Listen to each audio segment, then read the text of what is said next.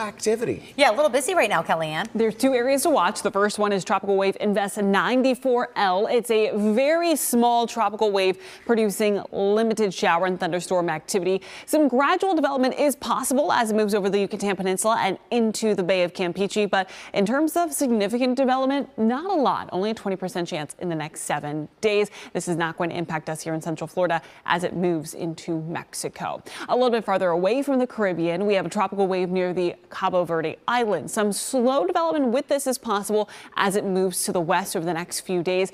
Right now, about a 30% chance of development in the next seven days. Of course, we'll continue to watch this as it makes that westerly track. Back at home, we have showers and thunderstorms today. We'll talk about who will see the highest rain coverage coming up in a few minutes.